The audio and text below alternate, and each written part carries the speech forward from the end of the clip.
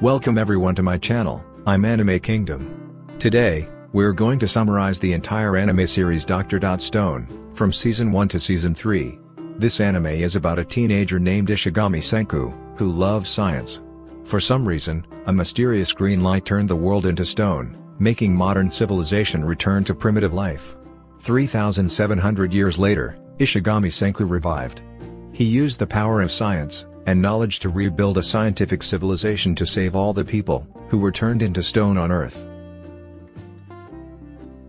The student Taiju tells his friend Senku that he will confess his love for Yuzuru whom he has secretly loved for five years. Senku says that he has just created a love potion that can help with a successful confession, but it's actually just gasoline. Taiju decides to confess on his own and pours the liquid away. Underneath the tree, as the two friends are about to confess their feelings, a sudden green light appears, engulfing the entire earth and turning all humans to stone. They remain conscious, but their bodies have turned to stone. And the world without humans gradually decays and crumbles. Several decades passed, and the stone shell surrounding Taiju's body cracked open. The first thing he did upon waking up was to search for his friend Yuzuru who had now become a stone statue. Taiju's confession had become meaningless. Surprisingly, there was a message on a tree trunk telling him to go downstream, where he found Senku. It had been 3,700 years since the incident, with each second counted by Senku throughout the years. Somehow, Senku had broken free from the stone half a year earlier. In that time, he had built a place to store food and conduct small experiments to bring humans back to life. Senku believed that his friend would survive, and now, one person using brains and another using muscle, they worked together to rebuild the world. They compared themselves to Adam and Eve of the petrified world, aiming to revive humanity. Taiju began searching for food while Senku took charge of categorizing it. At the place where Taiju revived, Senku collected nitric acid, a substance produced by bats, and used it to experiment with dissolving the stone layers covering a bird, but the results were still not promising. After many experiments, Senku figured out that they needed a bit of alcohol to create a reaction equation to produce nital, a corrosive solvent. Taiju collected some grapes from the forest, so now they could make alcohol. After some time distilling, they made alcohol and created nital. They started experimenting on the bird's stone layer, and this time they succeeded. Senku gave Taiju the right to decide who would be revived next, and of course, he chose Yuzuru When preparing to revive Yuzuru Taiju suddenly realized that when the stone layer cracked, Yuzuru would have nothing on her body. So Taiju decided to take Yuzuru back to their dwelling to dress her before saving her. Suddenly, a group of lions appeared and chased them. To save Senku, Taiju wanted to stay behind alone, but Senku wanted someone as capable as him to rebuild civilization together. Instead of saving Yuzuru they decided to save someone strong first, and that person was Shishio Tsukasa. When Senku woke up, he immediately announced the enemy's information and location. Tsukasa instantly rushed over and punched the male lion down, and they now had someone to take on the role of a fighter. Tsukasa also took responsibility for finding food for everyone. Senku used the aldehyde in the smoke to kill bacteria in the food, and it also helped preserve the food for longer. The next thing Senku needed was calcium carbonate, limestone. With Senku's knowledge, they could create limestone from seashells by grinding them. Taiju took on the task of collecting and crushing them. There were four ways to use them. 1. In agriculture, 2. In construction, by heating and mixing with sand to get mortar, which is crude cement, 3. Mixing oil with calcium carbonate and seaweed to create soap, helping all three clean their bodies. With such extensive knowledge, Tsukasa praised Senku. He also guessed that Senku had some plans he hadn't revealed yet, so he only mentioned three uses. The next day, Tsukasa revealed his thoughts through a story about a boy who wanted to collect seashells as a gift to help his little sister recover from an illness quickly. However, a drunk man stopped him, claiming that it could be considered stealing, and so the boy couldn't make the gift for his sister. Tsukasa wanted Senku to only revive young people with pure hearts. He also smashed a stone statue, effectively killing a person. Senku said he would use science to save everyone without leaving anyone behind. Faced with Tsukasa's frightening ideal, fortunately, he didn't know the secret of the cave yet. Just then, Taiju arrived, announcing that he had obtained the miracle water to save Yuzuru Senku had no choice but to tell Tsukasa about the location of the liquid in the cave. While Tsukasa was away, Senku quickly made nital to save Yuzuru Senku presented two options for Taiju and Yuzuru 1. They go somewhere to live, or 2. They stay and fight against Tsukasa. who had returned. Taiju rushed to attack, and Senku reluctantly used the weapon he had created to prevent the battle, but Tsukasa caught it and threw the arrow away. He also dealt a blow to Taiju, but he managed to block it. Taiju was the first person to block an attack from Tsukasa. Taiju allowed Tsukasa to hit him on the condition that he would not destroy any more statues. Unexpectedly, Taiju collapsed unconscious.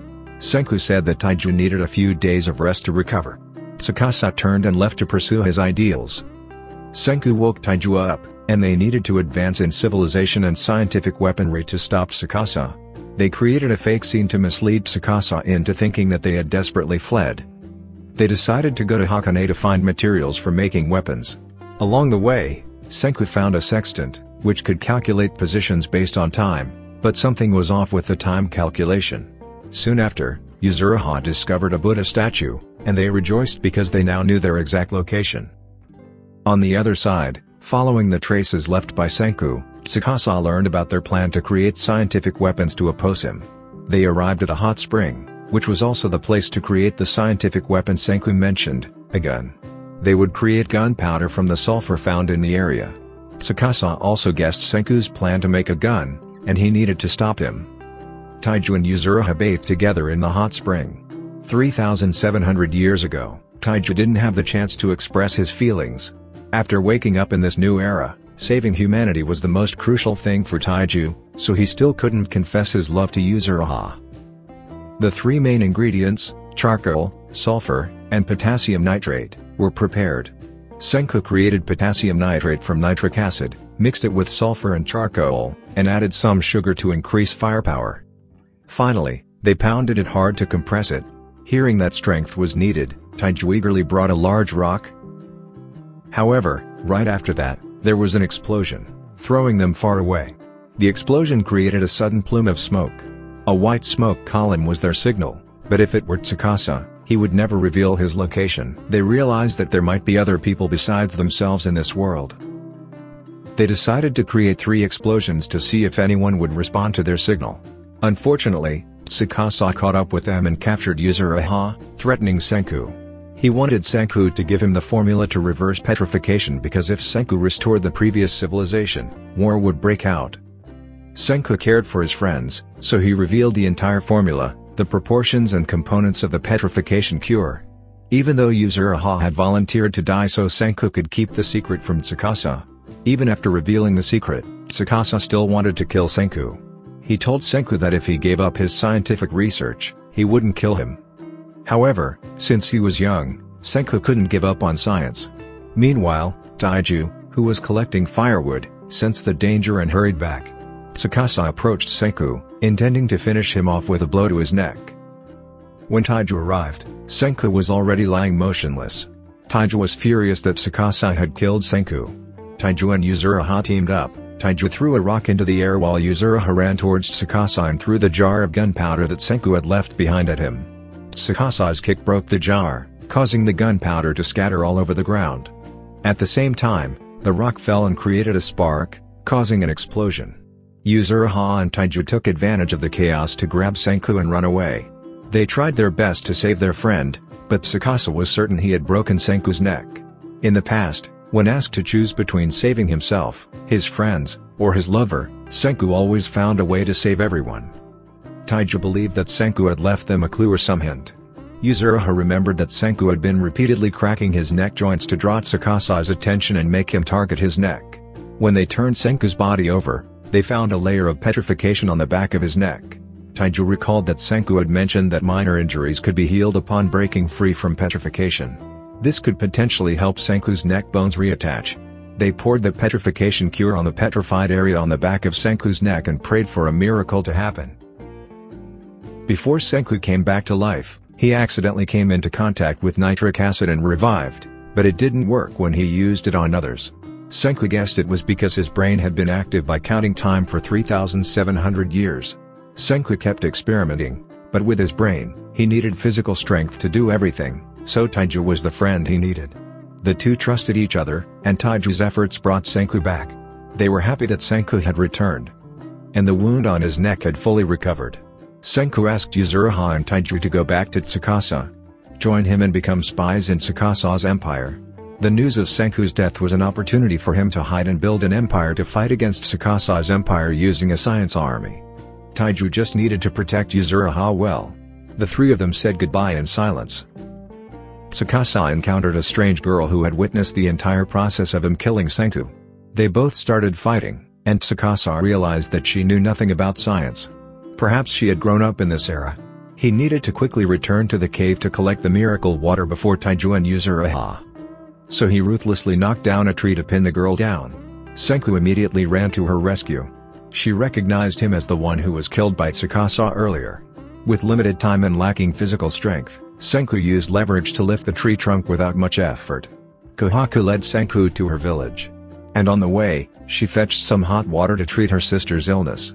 Senku created a sliding cart to help them travel faster. In front of them was Kohaku's village. With over 40 people. Some people had escaped from being petrified before them. And these people were the descendants of that person. However, these people probably hadn't been taught any science, so the village was still in a primitive state. As Senku approached the bridge, he was attacked by two people who didn't allow him to pass. But luckily Kohaku stopped them. The village rules forbade outsiders from entering, and despite Kohaku insisting that Senku was her benefactor, they still wouldn't let him in. Seeing that the two attackers didn't know anything about science, Senku created soap bubbles to test them. They thought it was magic and tried to attack the bubbles. A magician from the village named Chrome appeared, claiming to be a genius in magic and knowing how to create soap bubbles. Chrome challenged Senku to a magic duel by throwing salt, sulfur, and copper sulfate into the fire to change its color. Senku analyzed each substance that Chrome had added, and seeing that Senku wasn't scared, Chrome ran to fetch a sulfur ball. When rubbed, it would create an electric current, which he then used to charge his body and transfer electricity to someone else. Senku saw that Chrome shared his passion for exploring and discovering things, even if he didn't know what they were, and this was the perfect place for him to build his kingdom of science. The two were excited to learn from each other. Senku melted some cinnabar to create mercury, which he mixed with gold powder to create a gold-coated spear for Kinro. That night, Senku told Chrome the truth about the world, explaining that 3,700 years ago, humanity had advanced civilizations, but one day, a beam of green light turned everyone into stone, leading to the current situation. All of civilization's knowledge now resided in Senku's mind. Senku invited Chrome to join his kingdom of science and use their scientific knowledge to create antibiotics to save Ruri. The villagers and the village chief were suspicious of Senku, considering him an outsider who could pose a threat to their village. Meanwhile, Senku, Kohaku, and Chrome worked together to create antibiotics, requiring minerals and living organisms. Chrome discovered a type of rock that always pointed north when floating on water. Senku explained that it was a magnet that could be used to create iron. The next day, they went to a stream where they met a young girl wearing a watermelon on her head named Suika, who wanted to help them. Senku was also curious about Ruri and her stories about people from long ago. Using the magnetic rock, they obtained iron powder, which they mixed with charcoal and heated to 1500 degrees Celsius. They used Senku's blower device to increase the temperature, but the next morning, the iron powder remained unchanged. They needed more manpower, so to persuade the villagers, Senku assigned Suika the task of entering the village to find out what people wanted. Suika heard many things during her time in the village. And when she returned that night, she told them about the villagers' desires. First, three girls wanted boyfriends, which Senku's science couldn't provide. Next, a young boy was tired of eating fish, and Senku's science could help with this issue. They found a plant called foxtail, which Senku crushed, cooked, and ground into a powder to create foxtail flour, then softened it with potassium carbonate. This led to the creation of a dish called ramen. Although it wasn't the same as traditional ramen made with wheat flour, it was attractive to the villagers. They opened a ramen cart outside the village, trading ramen for the help they needed with their iron smelting. The ramen attracted several villagers, and everyone was captivated by Senku's creation. Suddenly, a strange man appeared, ate the ramen, and demanded a drink called coca. Senku realized he was a magician and author of some trashy psychology books by Asagiri General he had just escaped petrification and belonged to Tsukasa's empire. Everyone who ate Senku's ramen had to work in his forge. With their strength, Senku successfully melted iron and made an iron bar. Gen's task was to confirm if Senku was really dead. Despite what Senku had done, Gen couldn't decide which side was better. Senku said he was preparing to make a generator, which amazed General. Chrome also collected copper. They needed to create copper wires to wrap around the iron bar and build a lightning rod to turn it into a magnet. As rain approached, they hurriedly prepared. When some villagers saw Senku taking wooden planks from a bridge to create a mold for the copper wire, they thought he was destroying the village and went out to confront him. Gen stepped in and performed a few magic tricks, explaining that they were casting a spell to ward off lightning. The villagers reluctantly returned to their village. The group went to a high mountain, where they needed something long to connect to the ground. Kohaku found Kinro and borrowed his spear to use as a grounding rod. Lightning struck from the sky, and they successfully obtained a magnet. What Senku was creating was a human-powered generator. Copper was flattened and ground using ultra-hard corundum, second only to diamonds. The double-handle hand-crank generator was born. They needed two people with equal strength to operate it, and no one was more suitable than Kinro and Jinro. Although Gen continually refused due to the village rules, he mentioned the possibility of creating golden and silver spears, which enticed Kinro and Jinro to join them. A civilization that had been dormant for 3,700 years was reignited. The Edison light bulb, which Edison had invented to help humanity defeat darkness, was lit, illuminating a vast area. The light symbolized hope and the power of science, showing the villagers that they were on the path to a brighter future. The group discussed their concerns about Gen's loyalty since he was a member of Tsukasa's empire. Meanwhile, Gen was ambushed by a mysterious attacker who relentlessly assaulted him, eventually delivering a seemingly fatal blow. When the others rushed to his aid, they found Gen unconscious and covered in blood. Fortunately, he had prepared a few fake blood pouches on his body, which saved him from the attacker's lethal blows. They brought him inside to tend to his wounds. Suika investigated the incident and discovered that the attacker was Magma. He had previously seen Gen perform magic tricks and assumed that Gen was a sorcerer brought by Kohaku to the village. Magma's primary motive was to eliminate strong opponents so that he could win the upcoming martial arts tournament, marry Ruri, and become the village chief. Kohaku had previously defeated Magma in combat, because she knew he was a bad person, but village rules prevented her from marrying Ruri. Therefore, the tournament was rescheduled for the following month. To prevent her sister from falling into Magma's hands, Kohaku trained Kinro and Jinro for them to participate in a competition. Although Chrome loved Ruri very much, he knew he could only help her with science by making antibiotics for her. The next morning, Gen ran away, and everyone was worried that he would tell Tsukasa about Senku still being alive. Kohaku wanted to chase after him, but Senku stopped her, trusting that Gen would not reveal the truth because he had already chosen a side since Senku created the electric light. The night before, Gen and Senku had a conversation in which Gen wanted Senku to make cold Coca-Cola in this air as a promise between them. Gen told Tsukasa that he only saw and was attacked by a primitive village, with no traces of Senku. The next thing they needed to do was to make glass to create chemicals conveniently for the process of making antibiotics, and it would also help little Suika, who was nearsighted. Senku promised Suika he would help her see clearly again. To make glass, they needed to find a type of sand called silica sand, then calcium carbonate, and lead to melt and form a round block. Through the corundum grinding machine, it was slowly ground thin. Senku took Suika to a sunflower field and let her try on the glasses. She was truly overjoyed because, for the first time, she could see everything clearly. They began to heat the glass bottles, using the bubbles as insulation to create a glass furnace and made a blowpipe from iron to start shaping the glass. However, they couldn't shape it properly and needed a craftsman for the job. Chrome brought out Old Man Keisuke to ask for help, but he refused to assist them. Senku and Chrome kept trying to provoke Keisuke into action. Keisuke's meticulous work helped create a laboratory for Senku.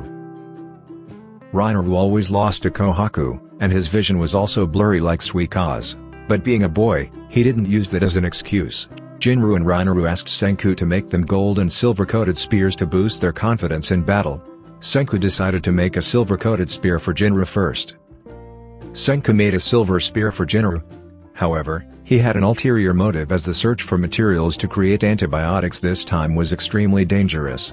Senku instructed Jinro that if the spear turned black, he must return immediately, even a 0.1 second delay would result in their death.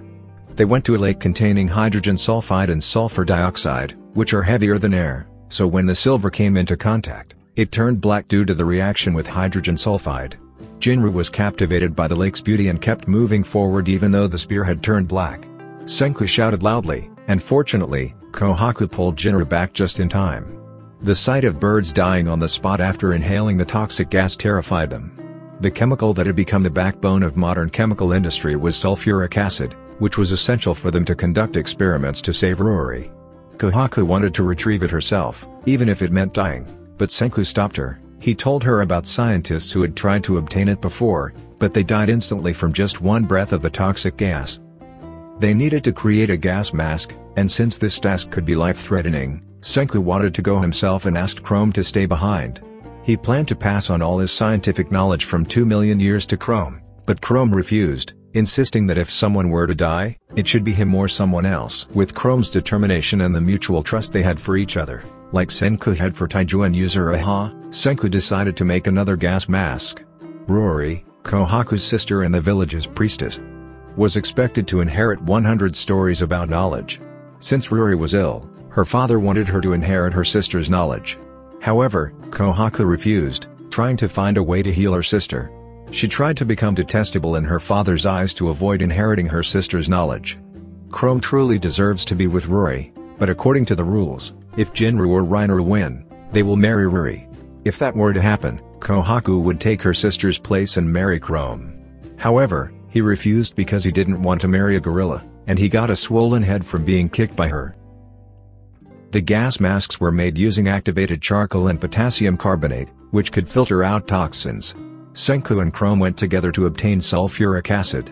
Upon arrival, although Senku helped Chrome calm down, he himself was still trembling. On the other side, Jinru was also scared and didn't understand why they knew it was dangerous but still insisted on going. Old man Keisuke said that nobody is without fear, but they try to overcome their fears to protect what they cherish. This made Jinru more determined. Keisuke had made an extra gas mask, and Jinru arrived just in time to save Chrome when he tripped and almost fell into the sulfuric acid lake. In the end, they successfully obtained the sulfuric acid. Senku's group had returned with the hardest to find ingredient, sulfuric acid. While they had almost all the other ingredients, which were somewhat complicated, they now just needed to carry out the reactions for their experiments.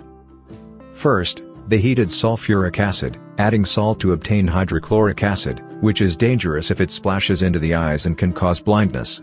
Next, they heated sulfur from the sulfuric acid lake and led the gas into a container with hydrochloric acid to obtain chlorosulfuric acid, a dangerous substance that can turn skin into a frighteningly lifeless state if it comes into contact.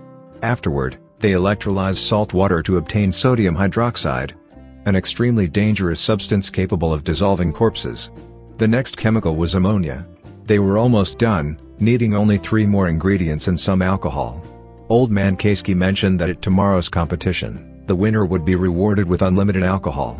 Senku's name was added to the list of competitors, and their plan was to wear down their opponents, especially Magma, so Kenru could easily defeat him in the final match. The day of the competition arrived, and for the first time in half a year, Senku stepped into the village, as outsiders were not prohibited from participating. When Ruri heard Senku's name, she felt like she had known him for a long time, but as she approached to ask about his family name, she suddenly fell ill and collapsed. You were not allowed to approach her and ask questions either. They began drawing lots to participate in the competition and made a plan to wear down their opponents so that Kohaku and Kinru could face Magma in the finals. However, Magma and Kinru met in the first match. Unexpectedly, one of Magma's teammates ran over and told them that Suika was drowning. Senku and Chrome knew he was lying, but Kohaku wanted to go ensure Suika's safety. If Kohaku didn't return in time, she would lose her right to compete. The first match between Magma and Kinru began, with Kinru fiercely attacking Magma. Surprisingly, Magma kept his distance from Kinru, making it difficult for Kinru's blurry vision to see clearly. At that moment, Suika returned after being tied to a tree by Magma's teammate. She observed that Kinru's vision was as blurry as hers. Due to his poor eyesight, Kinru was directly attacked by Magma, leaving him motionless.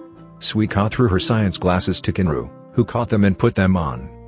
Now able to see clearly, he easily dodged Magma's attacks and proved to be much stronger than Magma. With Suika's glasses on, Kinru easily attacked and defeated Magma. However, realizing he couldn't beat Kinru, Magma resorted to dirty tactics. He told Kinru to ask the referee if wearing the glasses was against the rules, and if not, he would accept defeat. As Kinru turned to ask the referee, Magma sneakily attacked him, knocking Kinru unconscious and winning the match. Next was Chrome's match against Magma's junior. Magma saw Kohaku running back from a distance and instructed his junior to forfeit immediately, as he knew he wouldn't have the strength to fight Kohaku.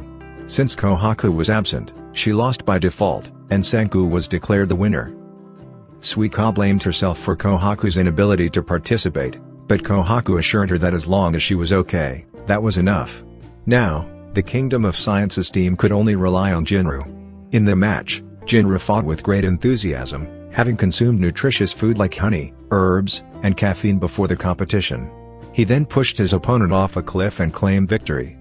The next match was the semi-final between Chrome and Magma. Despite the significant power difference, Magma kept attacking Chrome, trying to make him admit defeat. However, because of his feelings for Ruri and the people of the Kingdom of Science, Chrome remained determined. His plan was to use Suika's glasses to create fire to burn Magma.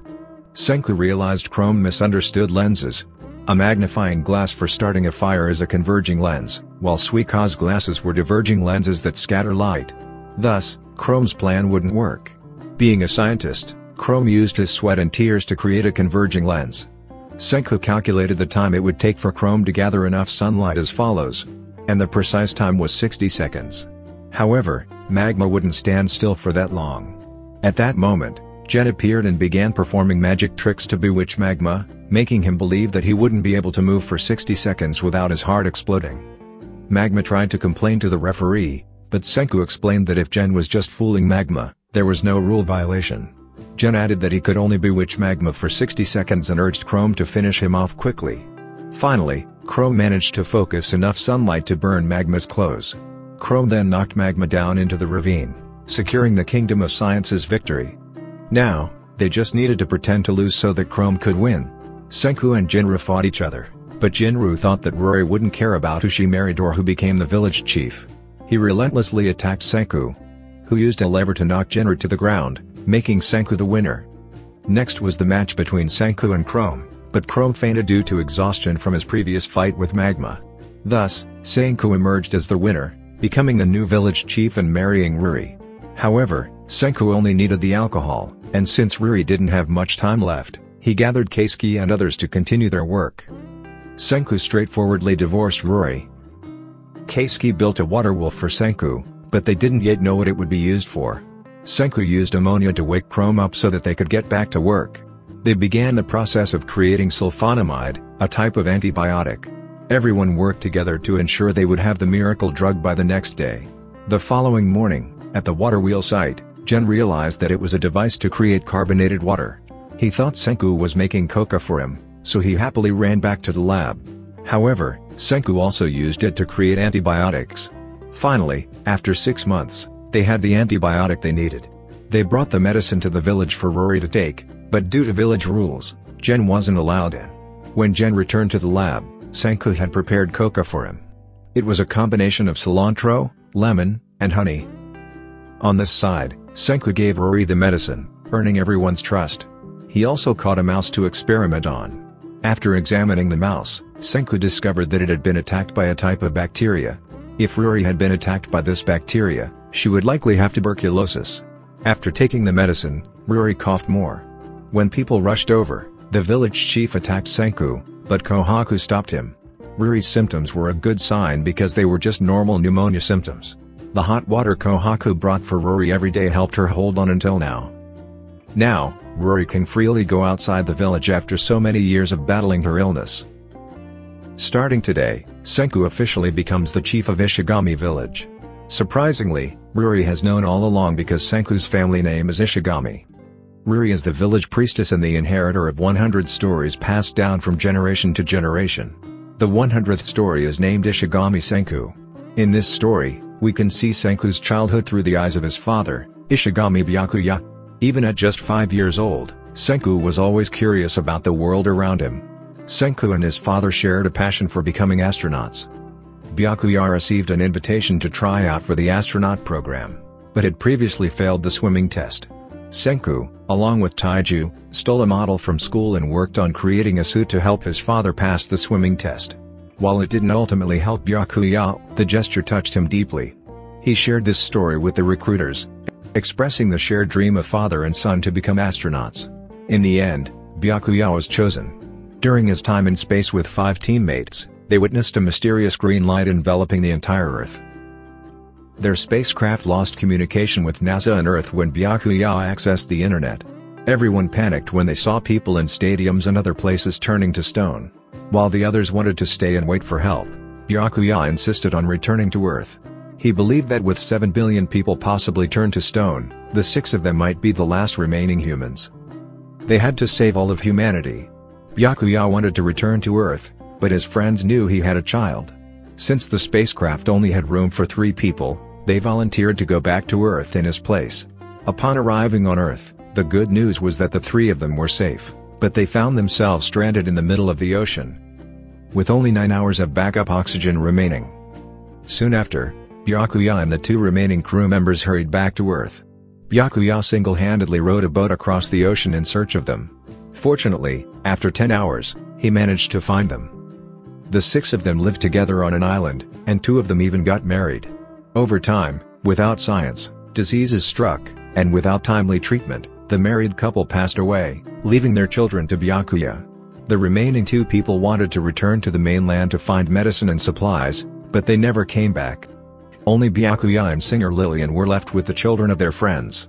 Byakuya decided to create 100 stories of knowledge to pass on to their future generations, teaching them how to find food, avoid danger, and learn about different types of rocks to stimulate human curiosity. With the conclusion of Byakuya's 100 stories, Ruri led Senku to the village's cemetery, where Byakuya and the village's founders were buried. The 100th story was a message for Senku. Byakuya said that if Senku made it there, he could rest assured that he had lived well. The gift of science that Byakuya left for Senku was the people who carried on the 100 stories. Byakuya believed that once Senku awoke, he would be able to lead humanity back to a scientific civilization. After returning to the village, Gen told his friend about the Tsukasa Empire, saying that they were coming and Tsukasa was preparing an army to attack their village. Since they hadn't found Senku's body, he suspected that Senku was still alive and would find another village to establish a science kingdom. So, Gen came back to warn everyone. Outside the village, Kinro and Ginro were on guard. Kinro noticed someone was spying on them and told Ginro to go back to the village to inform everyone. Kinro was able to handle the situation alone, but the leader of the group was Hyoga, who had recently been revived. If Hyoga and Tsukasa worked together, there was no way they could be defeated. As they were running out, Kinro was stabbed by Hyoga's spear and fell off the bridge, but he managed to grab Hyoga's leg, he instructed Ginro to cut down the bridge so the enemies couldn't cross into the village. However, Ginro couldn't do it because he couldn't indirectly kill his own brother. Senku had to use the remaining medicine for a trick. Gen called for Magma to throw a rock against a cliff to create a gunshot sound, making the enemies think that the Science Kingdom had created guns.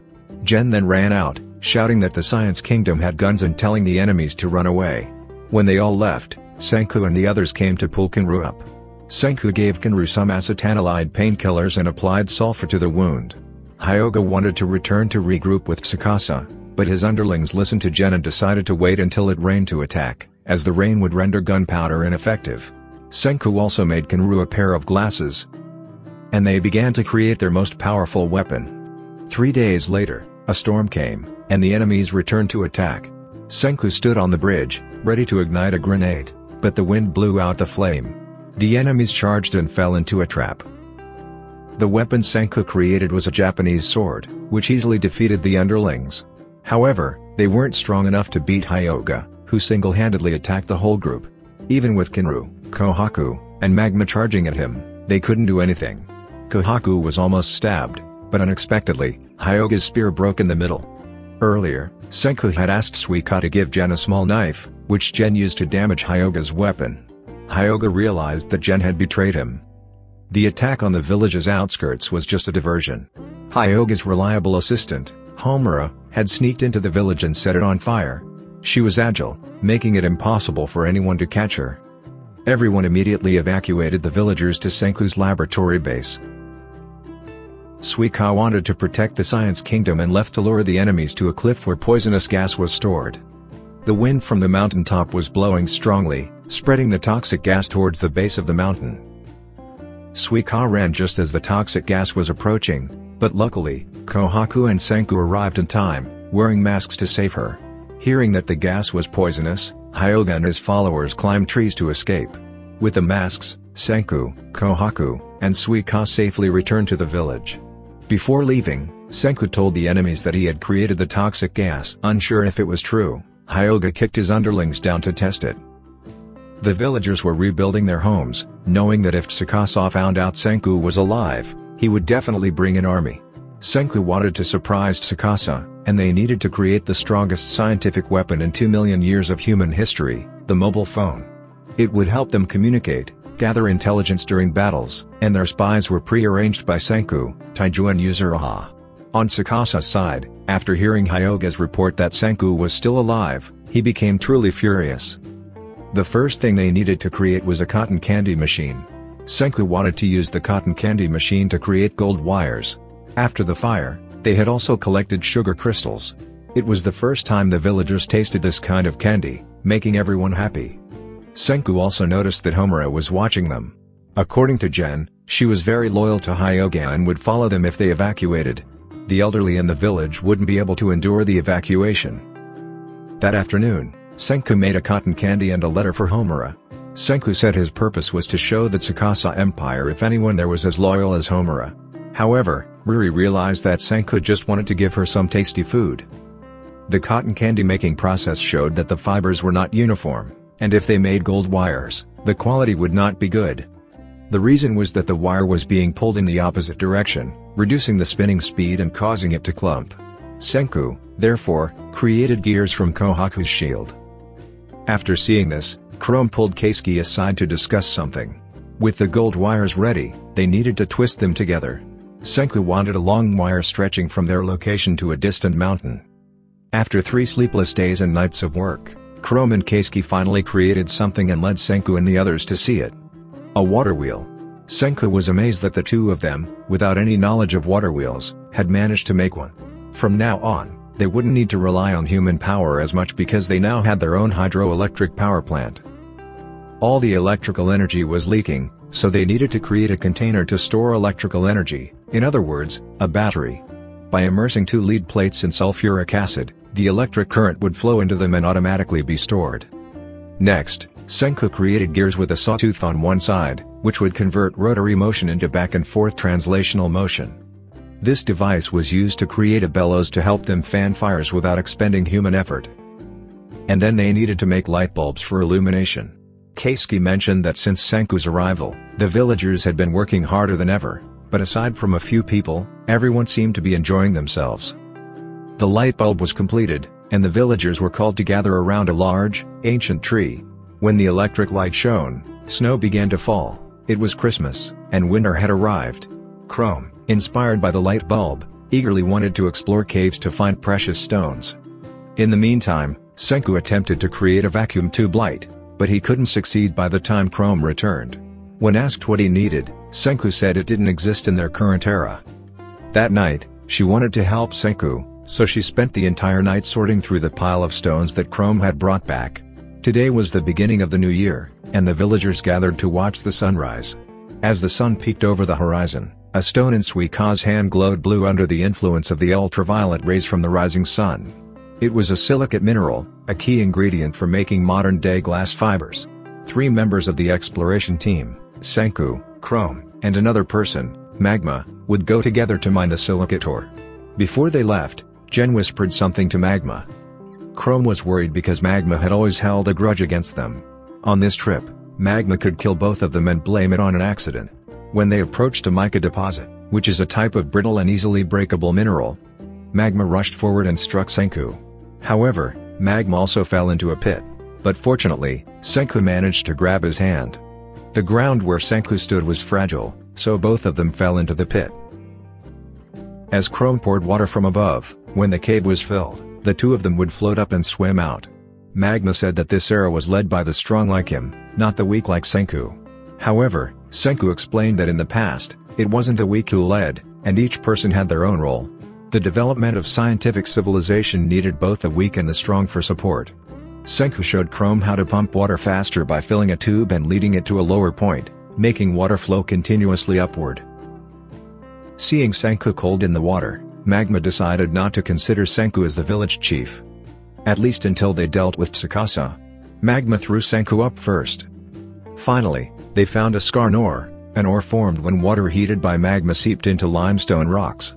All minerals in the hot water infiltrated the surrounding rocks and transformed them into various types of stones. Magma initially planned to attack the two of them while mining, but his plan changed. Senku realized when he fell into the mica pit, Magma wasn't trying to push him down but was actually saving him. Chrome also apologized to Magma for misunderstanding him. Magma remembered Gen's instructions to bring Senku back on the night after three days, so he urged them to return to the village. Close to the village, Magma blindfolded Senku and ran off. Senku thought they would hand him over to Tsukasa in exchange for peace in the village. However, when he opened his eyes, he saw a telescope that Gen and the whole village had made for him because it was Senku's birthday. Since Gen had escaped petrification and saw the number of days Senku had lived, he was extremely amazed. Gen had been very interested in Senku even before they met. The three of them brought back very rare stones, and Senku's plan to create a phone was gradually coming together. They would use the best heat-resistant metal in the universe, wolfram, which lies beneath the green light. They needed to heat the materials at a temperature of 1000 degrees Celsius. The higher the temperature, the stronger the wolfram.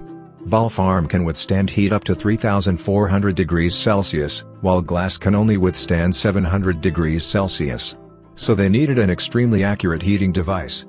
Senku assigned this task to Chrome, while he took responsibility for creating toothpaste using chemistry. Mr. Keisuke felt jealous when the two of them worked together since he had always crafted things alone since he was young. However, they both considered Mr. Keisuke their partner. To increase the temperature, they needed to create a thin and long valve wolfram toothpaste strip that would conduct electricity into water to collect hydrogen gas.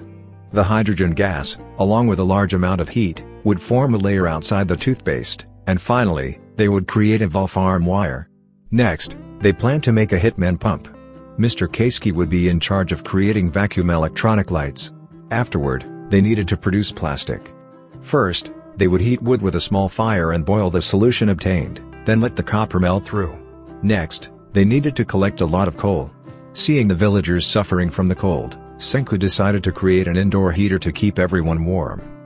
Gen was also assigned the task of creating aluminum batteries. A mobile phone device was completed, and Kohaku wondered how they could transmit voices to faraway places. Senku said they needed to make another one. First, they had to test it using a long cable, which would function like a telephone station. At that moment, hearing Chrome's voice coming from the other side amazed everyone. Ruri mentioned that it worked like a speaker. Senku found it strange that Ruri knew what a speaker was, but she said it was in the 14th story of the Hundred Tales. In that story, birds pecked at tombstones with their beaks, allowing them to speak the voices of the deceased. Surely, something was left behind in Senku's father's tombstone. They ran to the tombstone in the village, and after breaking through the stone layer, they discovered a glass layer wrapped in aluminum. Senku brought it back, used acid to remove the outer aluminum layer, and found that it was a record. The way the record worked was straightforward, it made a needle vibrate with sound, which would then cut grooves. By running the needle over these grooves, the vibrations would recreate the sounds that had been engraved on them. Senku created a record player, and everyone in the village gathered to listen to the messages from those who founded the village. In the message, Byakuya was sure that Senku was the one listening. Even if hundreds or thousands of years passed and he couldn't hear Senku's voice, he wanted to express everything to him. However, he knew Senku didn't like such sentimental things, so he used a song's melody performed by his old friends as a way to encourage the whole village to overcome difficulties together, as everything lay in their hands and they had to keep moving forward. After listening, everyone burst into tears. Although the entertainment born from scientific advancements had disappeared, what mattered was in everyone's hearts. The promise Senku made to Kohaku to create a kingdom of science had become a reality that day. The battle between the kingdom of science and Tsukasa's empire was finally about to begin. A year had passed, and Taiju and Yuzuriha never stopped waiting for the day they could reunite with Senku. The decisive battle was about to commence, marking the beginning of the Stone Wars. Which side will claim victory between the Kingdom of Science and Tsukasa's empire? How will the events unfold? Stay tuned for the next part of Dr. Stone. Today, Senku would create something that would impact their survival in long-term battles, space food. The whole village would work together to make instant ramen. After assigning tasks to the villagers, They would start freeze-drying and vacuum packing the food to reduce its weight for transport. When the food is placed in a vacuum, the ice inside evaporates, making it dry, hard, and lightweight. Keisuke and Chrome even made a vacuum pump using a water wheel. After pouring water into the ramen, everyone praised its delicious taste. In the afternoon, everyone listened to the singing voice of singer Lillian, so that night, Gen went to find Senku. He wanted to imitate Lillian's voice. Although it wouldn't be 100% accurate, if it was transmitted through a device with poor sound quality, people in Tsukasa's empire might believe it. Gen would pretend to be Lillian and say that America was rebuilding, and they would soon come to rescue everyone. Those in Tsukasa's empire would think that there was still hope, and they wouldn't need to serve him anymore. Chrome happened to overhear and wanted to join in. With everything ready, Chrome, Gen, and Magma would bring the device near Tsukasa's residence. Gen would lead Chrome and Magma to Tsukasa's place, and they needed to distract Homura so she wouldn't follow their group of three. Senku would create a sound bomb to lure Homura, using electrolyzed water, and the bubbling of hydrogen and oxygen, which could easily cause an explosion. They would then store the gas in a bladder. They started setting off the bombs to attract Homura's attention, while Chrome, Gen, and Magma would run in the opposite direction. The decisive battle with Tsukasa's empire began, the Stone Wars had commenced. After hearing the explosion, Homura rushed over, as their biggest fear was gunpowder. Kohaku, having determined Homura's location, quickly dashed towards the forest, found Homura, and attacked from behind with her sword. However, Homura sensed the attack and dodged it just in time. Since Homura was a former gymnast, she easily twisted and dodged the strikes. Kohaku was not to be outdone. At that moment, Senku appeared and threw a flashbang grenade towards Homura, blinding her and allowing them to capture her. Since Senku's strength was weak, Homura easily stood up and observed the village from a high point. She noticed Chrome, Magma, and Gen were missing and realized the trio was heading towards their base. Homura immediately pursued them. Senku and Kohaku followed her because Senku had earlier smeared powder from a blue stone onto Homura, making her easier to track. Senku had also created a UV lamp made of nickel and barium mixed with glass, creating a purple light bulb. The phone on Gen's side rang, and Senku signaled to let them know Homura was pursuing them. Gen and Senku used Morse code to communicate with each other. Gen pretended the phone had lost its signal and asked Chrome to climb a tree to check. Hearing this, Homura panicked, realizing they had a communication device in this stone world. She climbed the tree to verify, only to find that it was a ruse. Magma and Kanru simultaneously cut down the tree from below, leaving Homura with no support and causing her to fall. Senku called for Kohaku to catch her, and they successfully captured Homura. Gen, Chrome, and Magma reached Tsukasa's empire, where many stone statues were numbered, waiting to be revived. Tsukasa had revived 32 people. Magma wanted to destroy the statues, but just as he was about to swing his axe, Gen stopped him, explaining that they were not all bad people. The group went to a tomb, which was Senku's tomb, created by Taiju and Yuzuriha. They planned to place the phone there, which would also serve as a meeting point for Taiju and Yuzuriha to receive news from Senku. On Tsukasa's side, there was a person with exceptional hearing, and Gen's group almost got discovered. The phone was placed at the enemy base, and Taiju and Yuzuriha received it. After a long time, they could finally talk to each other. Senku asked Taiju and Yuzuriha to give the phone to someone within Tsukasa's empire so they could listen in. Without hesitation, Taiju just wanted Senku to confirm that this was the best way to minimize damage. After hearing Senku's confirmation, Taiju agreed without asking for any reasons. The mutual trust between the two impressed everyone around them. Meanwhile, Gen's group was being pursued by Tsukasa's sharp-eared member, Ukyo. Magma came up with a plan to let Chrome run out and attract attention, then act as a shield for Magma to punch away the pursuer. To ensure the plan's success, Chrome threw a battery to ignite the grass and started shouting. Magma also ran out, yelling loudly to attract Ukyo's attention and give Gen a chance to escape. The sacrifices of Chrome and Magma helped Gen return to Senku in time. On Taiju's side, they called a guard named Nikki to listen to the phone. Gen would pretend to be Lillian, and Senku would act as the interpreter. Together, they would try to deceive Nikki into believing that Lillian was with them. As Lillian was an American, they claimed that the United States was working to restore the world from the petrification era and would soon come to rescue Japan. Nikki was a die-hard fan of Lillian, and she asked them several questions to test their authenticity. She asked about the number of records Lillian had sold. Senku estimated it to be around 60 million, based on her revenue and concert tours, which was the correct answer. The next question was about Lillian's body measurements. Senku recalled the photo his father had sent from the satellite, with the measurements 88 65 85. However, as an avid fan, Nikki knew Lillian would never reveal her true measurements to the public. So she realized the person on the other end of the line was not Lillian. Seeing that deception was not working, Senku played a recording of Lillian's voice for Nikki to hear. After listening, Nikki realized that Lillian was no longer there, and Senku confirmed it. In the past, Lillian's music had saved Nikki's life. Senku promised to use science to protect Lillian's final song, and in the end, Nikki agreed to join their plan. Nikki stated that their plan to imitate Lillian's voice was only 55% accurate. On Tsukasa's side, there was a person with incredibly sharp hearing named Ukyo, who was a sonar operator for submarines. Chrome and Magma were surrounded by Ukyo, even though it was difficult to see through the thick smoke.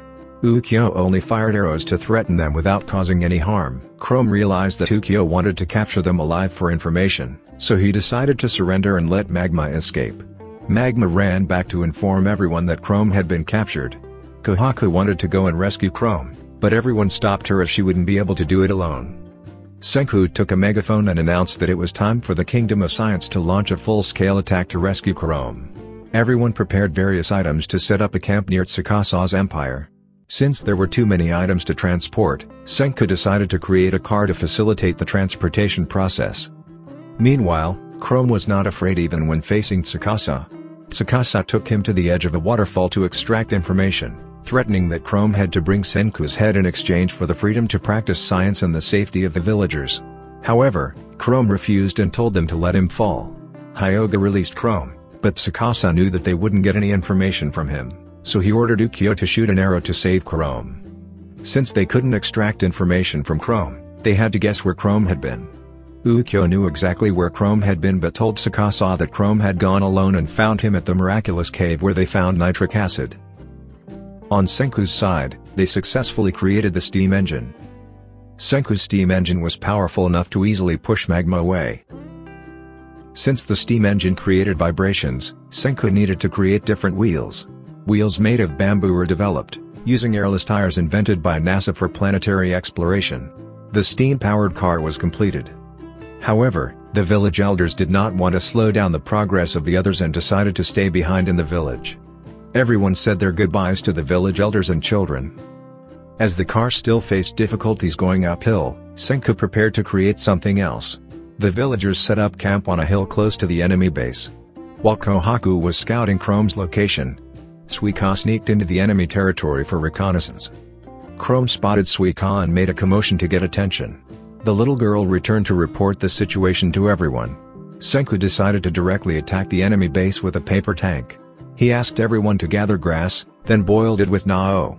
After boiling, the grass became sticky, and when cleaned and crushed, it turned into paper. They attached it to a frame, but Kinro easily pierced it with a spear, so he didn't trust these paper shields to be strong enough. Senku and Kinro had a contest to see if the shield or the spear was stronger, and Kinro's spear broke. The reason the paper shield was strong was because of a layer of melted plastic combined with a flexible paper, creating carbon fiber. The paper tank was completed. Near Chrome's prison, there were sharp traps in front of the jail. Tsukasa had anticipated that Senku would create a steam engine to attack, so he prepared traps as a defense. Tsukasa had also anticipated that Senku would use scientific weapons to rescue Chrome, so he set traps and revived Yo a former police officer skilled with a baton. Chrome tried various ways to escape, but the prison was made of earth and stone, so he couldn't cut the ropes to get out. He asked the guards to let him go to the bathroom, and fortunately, they agreed. He began gathering items around him, but when he returned, all he had collected were some wild grass and a few dry branches. That night, while sleeping, someone threw a battery into Chrome's cell. He quickly burned it on the ropes binding the fence but this caused the guards to rush in and beat him up. Fortunately, they didn't find the battery, thinking he had started the fire with the branches. They mocked Chrome, saying that he was a scientist who only knew so little. Chrome remembered when Senku conducted an experiment to electrolyze seawater to obtain sodium hydroxide. He created salt water by continuously exercising to make his clothes soak up sweat and wringing them into a container. By morning, He had a full container. He then used the battery for electrolysis and poured the solution onto the ropes binding the fence, which allowed him to break the gate. Chrome also shouted that there was a bear in the cell to mislead them, then he escaped through the back door. Chrome managed to avoid all the traps and only Yo was able to chase him. At the edge of a waterfall, Chrome turned to fight Yo, but Yo struck him in the face with a baton. Blood flowed from Chrome's mouth like a stream. He said he had pneumonia and didn't tell anyone because he didn't want them to worry since it was contagious. Chrome continuously coughed blood onto Yo, scaring him. Taking advantage of the situation, Chrome hit Yo's lower body with a bamboo stick and ran away. Kohaku was observing through a telescope when she saw Chrome returning. Everyone rejoiced and praised him for escaping the prison on his own. Taiju and Yuzuriha successfully recruited some of Tsukasa's followers to their side. Due to their frequent gatherings, Ukyo discovered their activities. He wanted to hear Lillian's voice, but even though Lillian's die-hard fan Nikki had coached her voice, Ukyo still detected a flaw when her voice didn't tremble after singing. But Ukyo spoke in English, and Senku suddenly understood and replied in English as well. He was sure that the person who smuggled the battery to Chrome was Ukyo. He had also discovered the secret mission Senku had assigned to Yuzuriha, which was to reassemble the petrified fragments that Tsukasa had broken. This deeply moved Ukyo, as he didn't want to see anyone die before his eyes. Ukyo set a condition for their collaboration, that no one must die, and Senku agreed. Through their conversation, Ukyo realized that the followers who had previously gone to Senku's village had died at the hands of Hyoga and Homura, not Senku. On Senku's side, their tank was complete. Senku used electrolysis of water, where hydrogen and oxygen would make an explosive plate expand to the maximum when ignited, creating a gunshot-like sound. Taiju and Yuzuriha also reunited with everyone, the Kingdom of Science had enough resources, and the decisive battle with Tsukasa's empire was about to begin.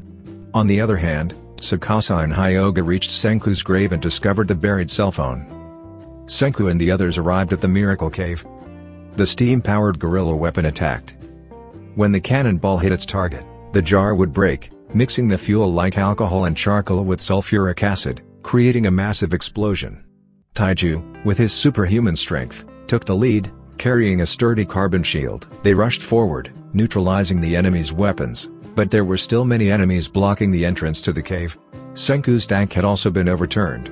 Senku called for Magma to hold a copper battle pan. Their next weapon was a sound bomb, using a recording device to absorb the explosion's noise and overwhelm the enemy. Outside, the reporter and the enemies planning to escape and informed Tsukasa were stopped by Ukyo, Nikki, and their allied soldiers. Now, they had nitric acid and began to create bombs. They had enough resources like coal and sulfur, but Ukyo couldn't have imagined that Tsukasa and Hyoga would arrive so quickly. Ukyo shouted a warning to everyone, but he was hit by a spear from Hyoga. Hyoga suggested that Senku should die to protect the remaining people, but now Senku had Taiju and everyone in the Kingdom of Science and their allies present. They were ready to hold off the enemies, allowing the scientists to create weapons. The real battle had begun. Kohaku, Kinro, and the others kept their distance and surrounded Tsukasa and Hyoga. Tsukasa immediately leapt high into the air, while Hyoga spun his spear in a circle to lock up their arms and neutralize their weapons. As Tsukasa was suspended in midair, Nikki wanted to use the pan to create a sound wave attack, but Tsukasa threw his spear, pushing all three of them against a tree trunk. Meanwhile, Chrome had found residual sulfuric acid in the spent shells. Now they could combine it with glycerin soap to create explosives. Inside the cave, Senku created nitroglycerin, a single drop could cause a massive explosion. Tsukasa charged towards Taiju at the entrance of the cave. Suddenly, a paper airplane was launched, and when it collided with a tree, it created a huge explosion. So Senku successfully created an explosive and attached it to a paper airplane folded by General they weren't worried because paper airplanes were hard to hit accurately. At that moment, Ukyo stood up and said that explosive arrows would be more precise. This forced Tsukasa's soldiers to surrender. Senku wanted to negotiate with Tsukasa. Senku realized that although Tsukasa hated those in power, he had previously fought battles to earn money from them. Senku knew Tsukasa's sister was not dead but in a coma. And although their family had given up, Tsukasa had been determined since childhood to train and compete to earn money for her treatment. Senku told Tsukasa that they could use the revival fluid to save his sister, and there was a chance she would be cured of her illness due to the petrification process, as Senku had previously been saved from death by it. A ceasefire agreement was reached. And everyone went to the location of Tsukasa's sister to save her. On the way, Tsukasa explained his ideals, if Senku now revived everyone, would the resources of this era be enough to meet everyone's needs, and could the world accommodate them all? When they arrived, Senku used a bomb to destroy the surrounding land, everyone dug together, and they finally found the petrified statue of Tsukasa's sister. Senku poured the revival fluid on Mirai, and everyone watched the petrification reversal process together, hoping for a miracle like Senku's previous resurrection. Finally, it was successful, and the girl could walk and recognize her brother. Tsukasa was moved, hugging his sister tightly after thousands of years apart, even though she had previously been brain dead. Chrome noticed that the remaining small pieces didn't match, and Ukyo said that if someone had stolen them, his ears would have heard it. The only person who could deceive his hearing and steal the items was Homura. That night, Yo appeared and saw Homura, who asked him to tell Hyoga that it was time to rescue her and execute Hyoga's plan. Suddenly, a loud noise erupted at the Miracle Cave, causing the cave containing nitric acid to collapse. The one responsible for this was none other than Homura, and she wouldn't have acted without instructions. Senku realized who was behind everything and sensed the danger. He immediately ran to Tsukasa, who was with his sister and Hyoga near a lake, hearing the explosion. As Tsukasa was about to investigate, Senku yelled for Tsukasa and Mirai to run away. Hyoga aimed his spinning spear at Mirai, but Tsukasa blocked it, getting impaled through the chest and pushed off the waterfall. Senku tried to grab Tsukasa's hand, but both were shoved down the waterfall by Hyoga, who followed them. They washed ashore on a nearby piece of land. Hyoga knew the water's course and was already there. He pursued Tsukasa's direction but with a more negative approach. Wanting to overthrow Tsukasa and have sole decision-making power. Tsukasa wanted the young to live peacefully together, while Hyoga valued talented individuals, believing that young and useless people would become robbers in the future. He wanted to team up with Senku to become the strongest duo and threatened Senku by scratching his finger. Insinuating that if Senku didn't cooperate, he would lose each finger. However, Senku refused, continually kicking rocks at Hyoga and reviving some petrified birds with the revival fluid to block Hyoga's view. After Senku managed to stop Tsukasa's bleeding for a while, he was able to stand up and fight back against Hyoga. Promising not to let Senku be in danger again. The two teamed up to battle Hyoga, with Tsukasa fighting him barehanded. Meanwhile, Senku spread explosives outside, and Tsukasa lured Hyoga into the trap. Flames shot at Hyoga, but he used his coat to smother the fire. He attacked Senku, leaving him motionless. Tsukasa tried to resist but fell due to his severe injury, holding tightly onto the spear to prevent it from piercing his neck. As the two struggled, Senku wasn't injured because he had a high-strength zinc carbon plate inside him, which blocked Hyoga's attack. Hyoga was hit with a powerful electric shock, and right after that, Senku and Tsukasa high-fived to celebrate their successful collaboration. Homura planned to help but was captured by Kohaku's group. Senku decided to imprison the two of them until civilization was rebuilt. Finally, the Kingdom of Science truly began, with both sides working together to rebuild the kingdom. Yuzuriha's mission succeeded, though missing a few pieces, but upon pouring the revival fluid, they still restored people to normal. Despite his severe injuries, Tsukasa still revealed all the locations where he had destroyed statues and never forgot anyone he had killed. His efforts were to atone for the sins he committed in the past. Taiju promised to find and collect all the broken pieces. Senku created many formulas but could only make an adhesive to help stop Tsukasa's bleeding, as Senku was not a wizard who could heal damaged internal organs. The only way for Senku to save Tsukasa was to petrify him. But they needed time to research the origin and process of petrification. Therefore, Senku would personally kill Tsukasa first, then cryogenically freeze him, putting him into a state of hibernation. For Senku, this was the only way to save Tsukasa. Everyone worked together to build a refrigerator. Tsukasa was happy to hear Senku's group chatting and working together. The refrigerator for cryogenically freezing Tsukasa was completed. Everyone went outside to give Senku and Tsukasa some privacy, as no one wanted to witness a friend killing another friend. It was also their last private moment to talk. Senku tried to bring up random topics, talking about various things. It was the first time Senku felt truly powerless. Tsukasa said that the time spent working together with everyone was the happiest he had ever been. And Tsukasa passed away, Senku kept talking even though he knew Tsukasa was gone. His sister Mirai would take the time to care for her brother like he used to care for her. Byakuya left information that the petrification ray appeared on the other side of the Earth, so a new mission and journey began, building a ship and crossing the ocean. What new things await them ahead? What is the mystery behind the petrification phenomenon in that light, and can they save their friend Tsukasa? All this will be in Season 3, so let's look forward to the next part of Dr. Stone together. Kohaku and the others performed a play, recounting the tale of the mysterious green light. One day, thousands of years ago, a strange glow enveloped the earth, turning everyone into stone, and toppling the civilization humans had built. However, there was one boy who kept counting, the seconds through, the years to retain his consciousness. After his revival, he and Taiju set about rebuilding civilization from scratch. They tirelessly experimented, and eventually, they succeeded in dissolving the stone layer. After their battle with Tsukasa, they continued to unravel the mystery of the green light. The performance boosted everyone's morale, and next, they plan to build a ship to cross the other side of the ocean. But first, we need a design. Gen has set up a competition for everyone to take part in. But only three contestants came up with a design, which were Senku, Yo, and Magma. Yo was very confident about his design, and claimed that he had finished it a long time ago. He even looked down on Magma, but when he saw Magma's design, he was very surprised, and dared not to show his shoddy design. And the winner of that brainstorming competition turned out to be, Senku, with a perfect and magnificent design. Keisuke and Chrome were worried that their forces weren't enough, and that constructing the ship might take hundreds of years. But Senku said their science team would join forces with those Tsukasa had previously revived. Senku then went to Minami to ask her to find a ship captain, someone who would take them, to the other side of the earth. Following Minami's guidance, they traveled to an island, and excavated a stone statue. Minami warned them not to choose a person named Ryusui, who was a hedonistic heir of the Nanami family.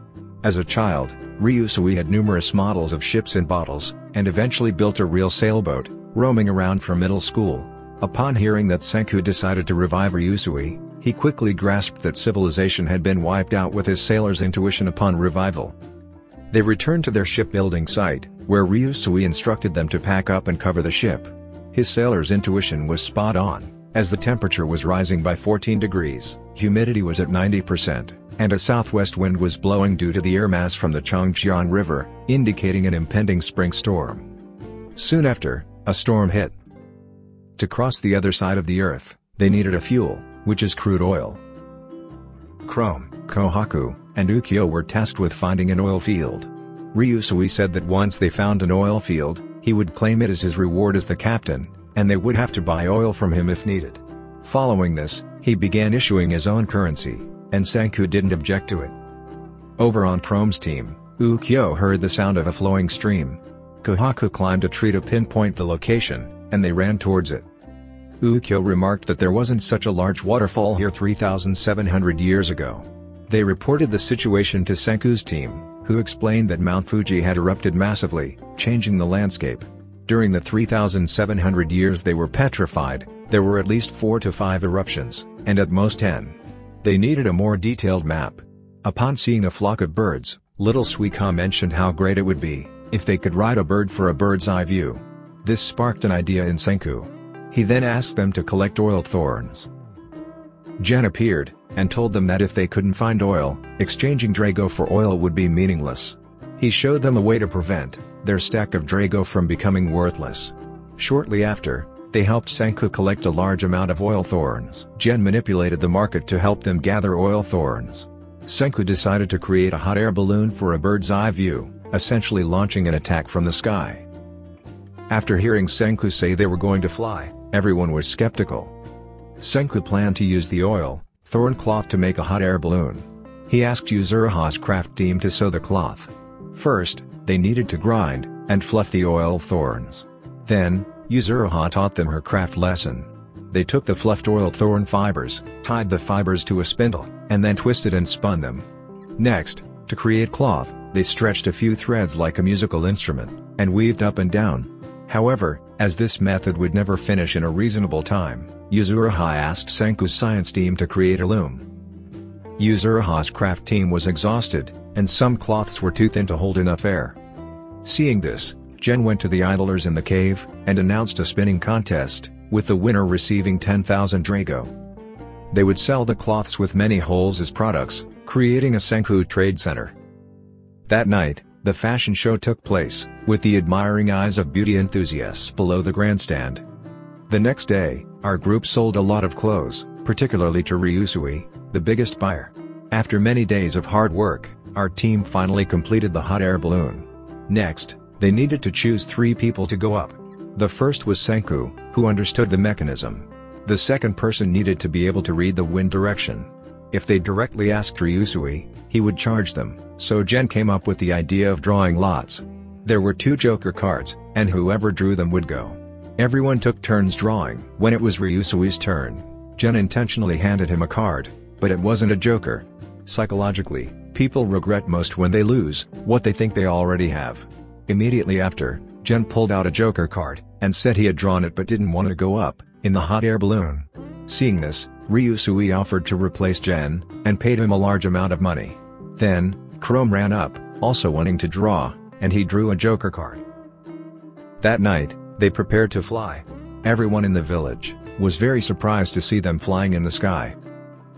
From up high, they would see the sunrise 7 minutes, earlier than the people on the ground. Chrome burst into tears, as he wanted to know everything about this world. They were headed to Ishigami village. They planned to use the low-pressure wind to move counterclockwise, utilizing it to travel westward. Unexpectedly, a storm cloud appeared, forcing them to ascend several thousand meters high in the sky. They decided to accelerate straight ahead, and burst through the storm cloud using a solution made from a mixture of alcohol and nitric acid, a highly combustible fuel. Eventually, they successfully escaped the storm cloud, and made it back to Ishigami village. Ukyo called Gen to inform him that, Senku's team had returned to the village. Everyone was excited, because they had managed to reach the village in just a few hours.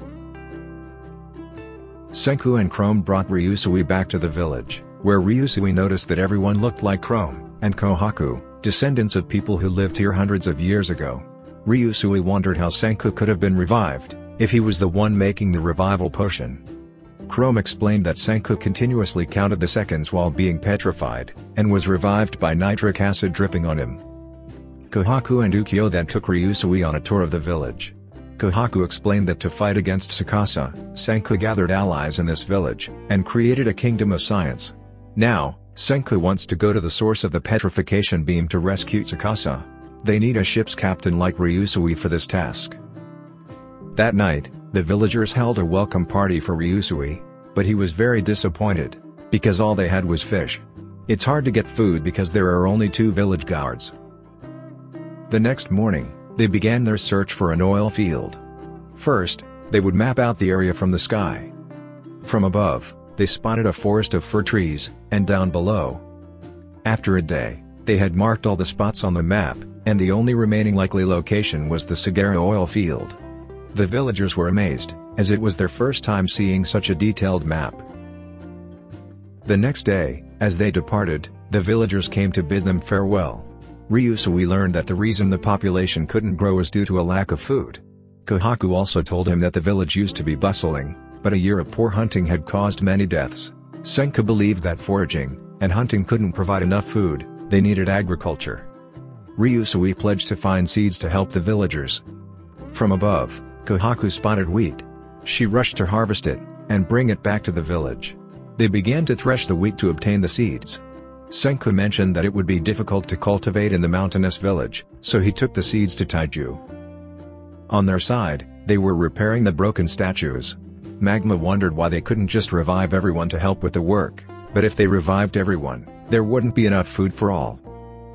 Kohaku appeared, and said they didn't have to depend on nature anymore but instead would use intelligence and strength to produce food.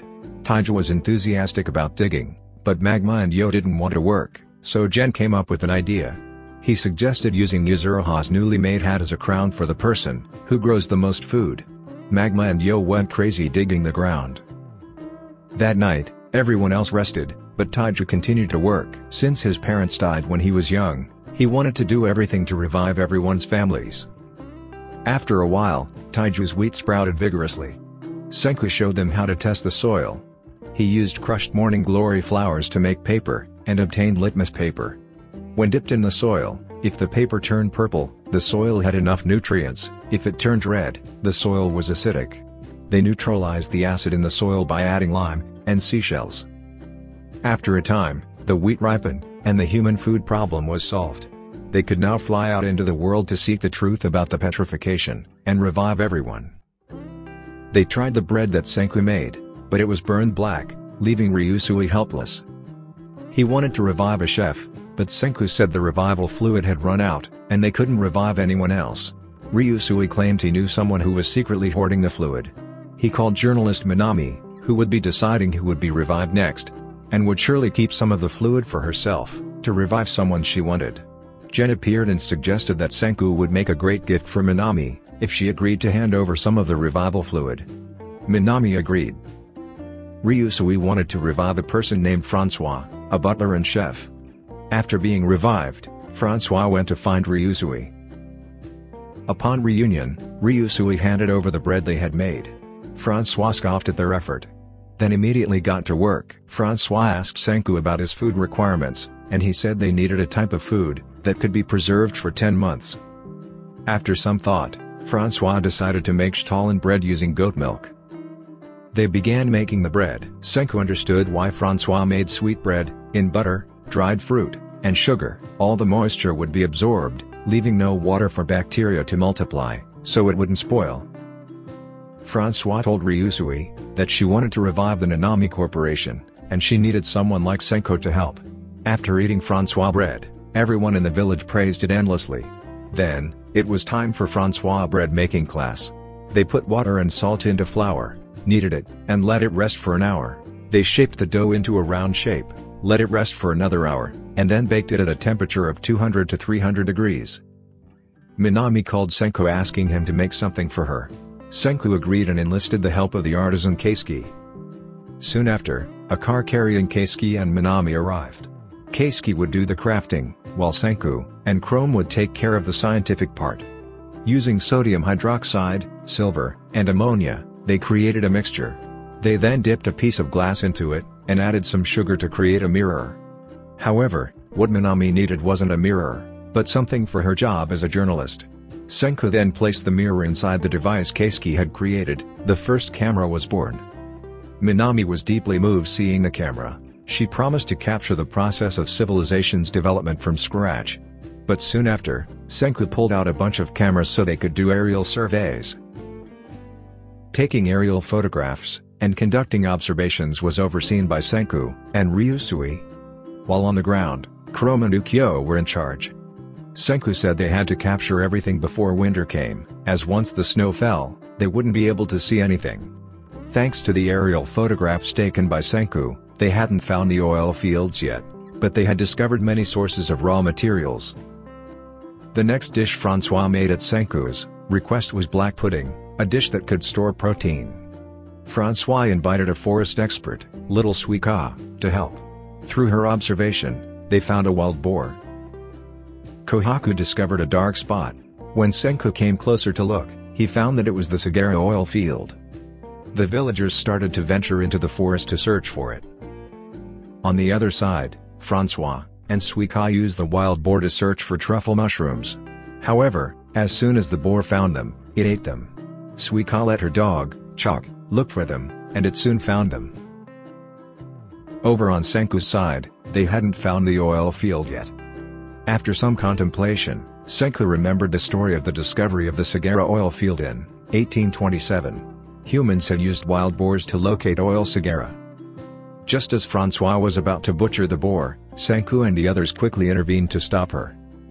Thanks to the boar, Senku's group found the Sagara oil field.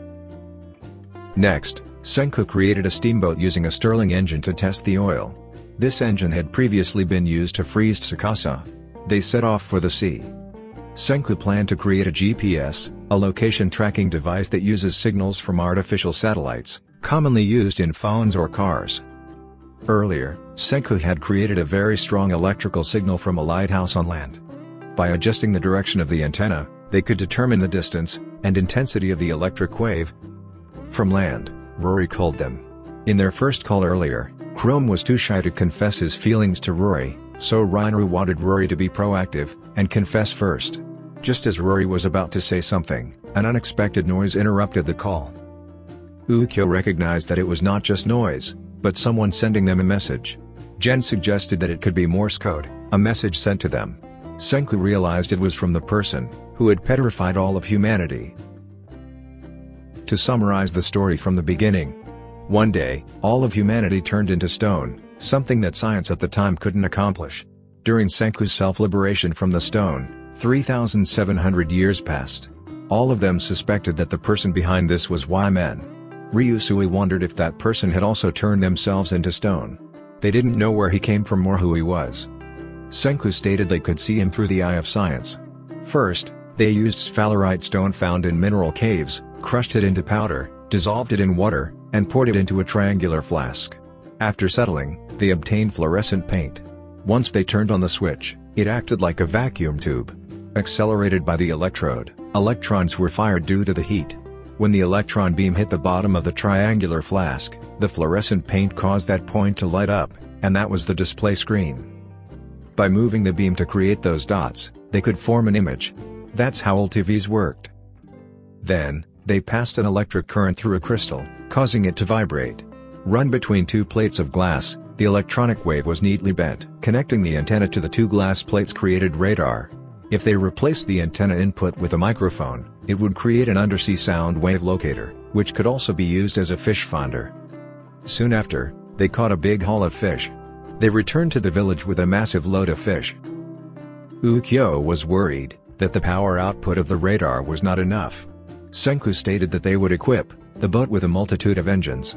To advance into the industrial age, they needed a large amount of metal and oil. However, the iron at the riverbank was running low. On the other hand, Chrome was thinking of a way to use the radar to detect metal.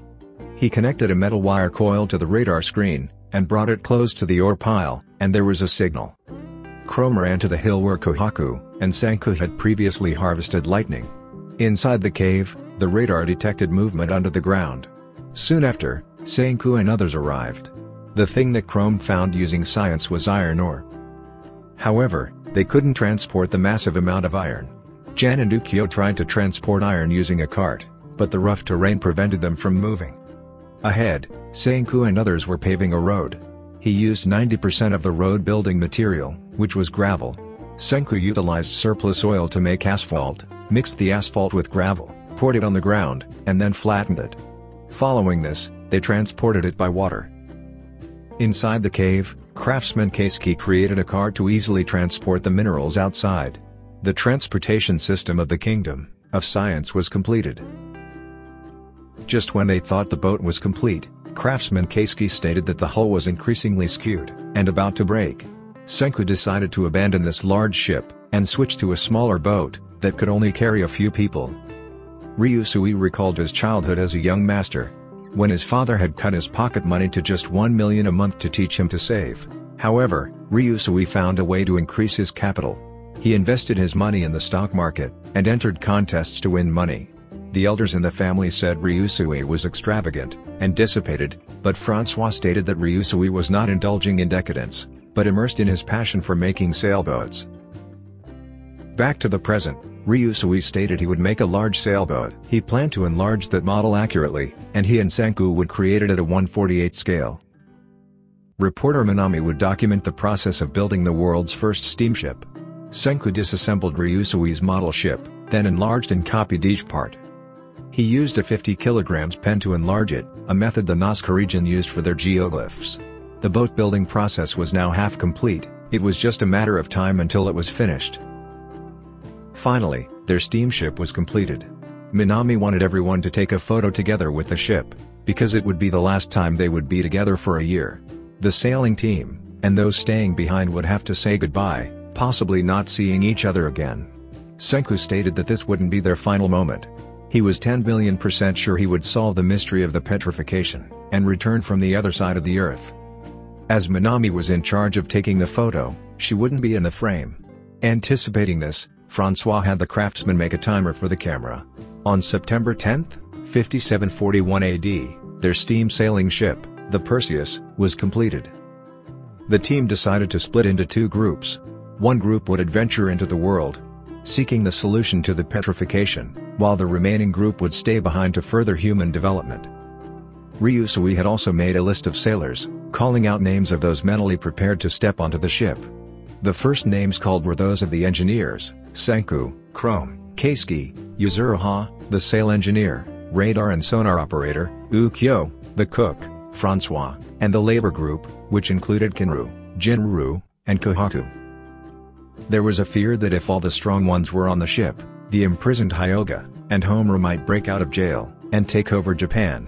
So, Senku decided to move the jail to the ship, anticipating a time when they would become their strongest card in the deck. The last one to board the ship was Gen, who initially feared his lack of physical strength would be a hindrance. However, Senku reassured him that they would need a psychologist to assist, so Gen also embarked. Senku declared that they were headed to Treasure Island, the place where his father's spaceship, the Soyuz, had landed. This was the resting place of the only group of astronauts, who had escaped the petrifying light, and the origin of a hundred mysterious tales. 3,700 years ago, a few years after humanity was turned to stone, Byakuya left precious gems inside glass jars, which he then placed in a treasure chest. They would wait for the day when the scientists of the future would appear. Senku asked Ruri to tell him about the 100 stories that were passed down in the village's knowledge. However, he could only make it through 8 stories before he collapsed. Senku wanted to hear the story about the gemstones, as most of the village's names are based on these. Kohaku, for example, means amber, which is a clear, sun-colored gemstone. Kin means gold, a glittering sand sleeping in the treasure chest. Diamond is a very hard, very shiny, and clear gemstone in the treasure chest. Platinum is an ultra-rare material, rarer than gold, but a small piece can produce a mass-production revival drug. Gen pointed out that the maximum number of people that a human brain can remember in a group is about 150. Tsukasa's empire had about 100 people, and Ishigami village had more than 40. Together, that's around 150 people. If they were to increase this number, it could cause instability and fragmentation within the group. However, if they have platinum, they won't have to worry about the limits of revival anymore. Platinum, also known as white gold, glitters with the color of the moon.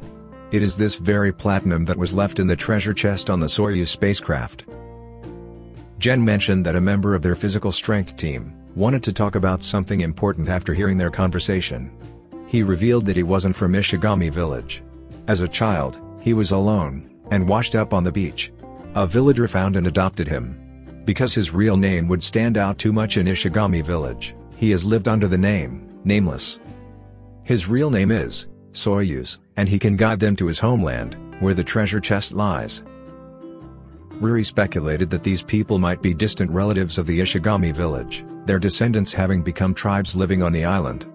Ryusui hypothesized that many people have crossed the sea to Japan, and then stayed, leading to the formation of Ishigami village. This would explain how Ruri's ancestors knew about the 100 stories left by Senku's father. They also theorized that the people on the island could be the Why-Man, but Ukyo pointed out that the island's resources are very limited, so it is uncertain whether they could develop a saturated electric wave civilization. Ryusui stated that if they had such powerful scientific capabilities, they couldn't hide forever on that isolated island. The desire to see the whole world, and understand it is an irresistible human instinct.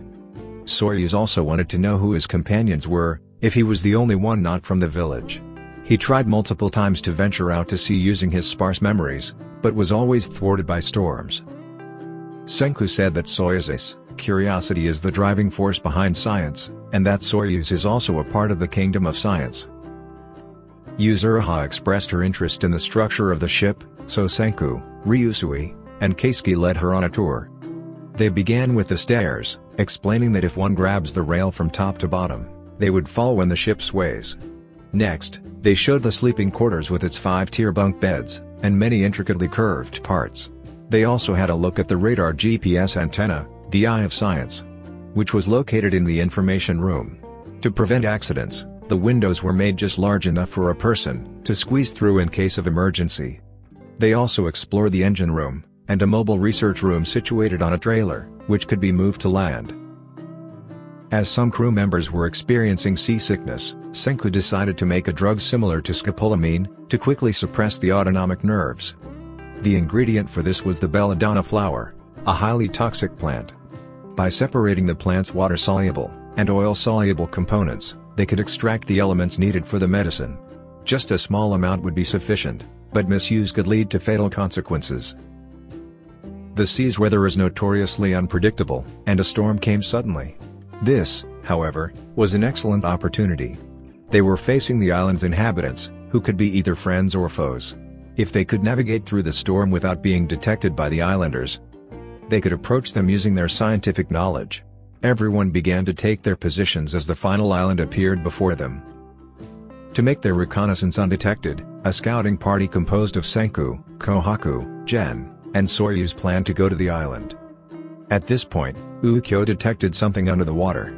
Reiner, following orders, plunged into the sea to inspect, finding many stone statues down below. Ukyo recognized that when the petrification beam fell, the island was uninhabited, and people only started living there later. The question then was, since when had these people been petrified? Ryusui noticed that someone was watching them. When Gen's team looked back at their ship, they found that everyone on board had been turned to stone. Suika didn't understand what had happened, only remembering that Ryusui had kicked her off the ship to avoid being petrified. Upon hearing the news, Kohaku wanted to rush over there, but Gen, anticipating this, grabbed her to prevent her from running. He suspected that the enemy might still be nearby. Soyuz recalled that he had seen the same light once when he was a child. The group continued their search to quickly locate platinum to save everyone. Senku used cyanoacrylate, boiled it, and put a seashell in the steam. Under UV light, they detected a fingerprint. Senku speculated that it belonged to a woman who had recently passed by. As they followed the tracks, they encountered a girl named Amaryllis. The people in her village were planning to rebel against the chief, who would come each year to kidnap girls for his harem. To control the situation, Senku's team used tear gas bullets. Amaryllis, seeing this for the first time, thought it was magic. Upon hearing their intention to save their petrified friends on the ship, Amaryllis revealed that she knew the secret behind the petrification beam. To rescue everyone, she wanted to become the number one beauty on the island, to uncover the mystery of petrification. Five years ago, when Amaryllis was 13, she and her friends and sisters set out to explore the ocean. Ignoring the elders in the village who warned them that they would be turned to stone, by the chief's magic if they left the island. As soon as they had gone a certain distance, the chief's right and left hands, Mozu and Kirisame, pursued them. Kirisame started to throw something into the sky, which surprisingly turned out to be the petrification beam. Amaryllis' siblings shielded her, but when the petrification beam touched her hair, she tore it off and the beam stopped. It appeared that this beam was of the same type, as the petrification beam from thousands of years ago, just differing in scale. If it was a power of someone, they couldn't do anything, but if it was a weapon, it could be stolen. To investigate the petrification beam, Kohaku would participate in the selection competition the next day. Simply changing outfits wasn't enough, Senku wanted to create something. First, they needed to recover the mobile laboratory on the ship. The leader Zebra and Kari Kirisame had arrived on the ship to investigate, and there were things that even Kari Kirisame didn't know what they were, this was the first time she had seen them. But now Kari Kirisame was standing in front of Kohaku, attacking her. However, because she was hindered by her outfit, she couldn't fight back. Thinking that there was still someone on the ship, Kohaku shouted just need lad, with the intention that the survivor on the ship could hear, and help them. The people here didn't understand what lad was, so to fool Kirisame. Gen said that lad was Senku's name, and that they were dating. This managed to deceive Kirisame. A few days earlier, Ukyo's arrows could only deviate a bit, seeing this, Ryusui kicked Suika off the ship, hoping that she would survive, and inform Senku. Ginro, who was underwater, saw a strange light, and had also dived deeper, so he was fortunate enough to escape. After Senku's group found out Ginro was still alive, they were powerless. Fortunately, they still had one expert in disguise, the young girl Suika, who was still alive. Little Suika quickly disguised the laboratory, then created a diversion for Ginro to start the engine, and then dived into the water, and ran straight to the island. The islanders thought it was a beast running away. To avoid the crowd, Senku used rotten meat and a shell combined with jasmine, then heated it to create the smell of feces. Then, they quickly started the engine and escaped. They hid in a cave, and started to create shampoo, conditioner, and makeup for Kohaku. Believing that more candidates would improve their chances, Amaryllis disguised the male members of the group as females, and in the end, Ginro was chosen to participate. The selection process began, and due to her adorable appearance, Amaryllis was selected. Mozu discovered Kohaku's combat abilities, but he did not expose her, however, he indicated he would intervene, if Kohaku intended to destroy the harem. Kohaku was selected. And despite Ginro's attempts to avoid being chosen, he was ultimately selected. From this point, the three of them would begin their infiltration of the enemy's base. The mission to steal the petrification beam officially began. Senku created a spy device to transmit instructions, and they successfully delivered the device to Kohaku by throwing it down from a cliff. Now, they divided into two teams, the spy team and the science team. The spy team's mission was to observe and separate Kirisame, and when she threw the petrification beam, the science team would steal it.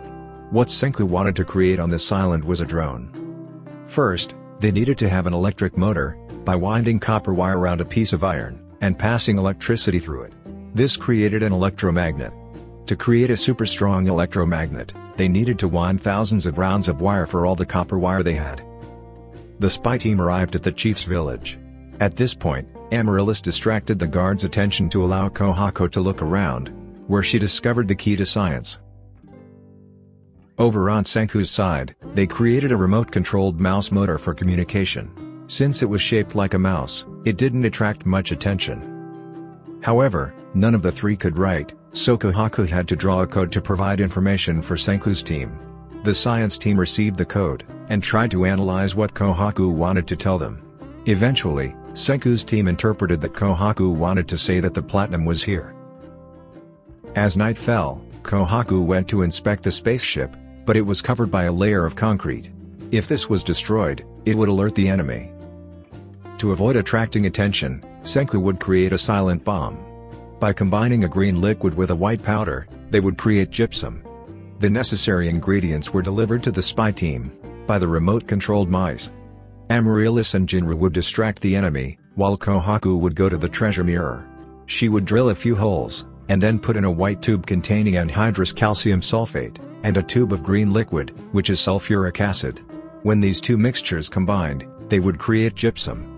When it expands, the holes inside are small, and the gypsum has no place to escape. This would create a tremendous pressure of 300 kg/cm2, and explode from the inside. That night, Kohaku arrived at the treasure mirror to inspect it. With just a slight touch, it broke, revealing the gift that Senku's father, Byakuya, had left for him. However, due to the rough handling, Kohaku accidentally broke the contents of the bottle, causing a stir that attracted the attention of the guards. She quickly gathered the broken pieces, and handed them over to Senku. Byakuya had dedicated his entire life to collecting rare materials from streams for Senku, resulting in a large quantity of platinum inside the bottle. Until his last moments, he held in his hands the treasure of humanity. Now, the development of a machine that could produce an infinite revival fluid was in progress. Meanwhile, Eber's people discovered the intrusion by the spy team. In the end, Senku successfully created nitric acid, which could revive all members of the Kingdom of Science from petrification. On this starting island, the final battle to seize the petrification beam officially began.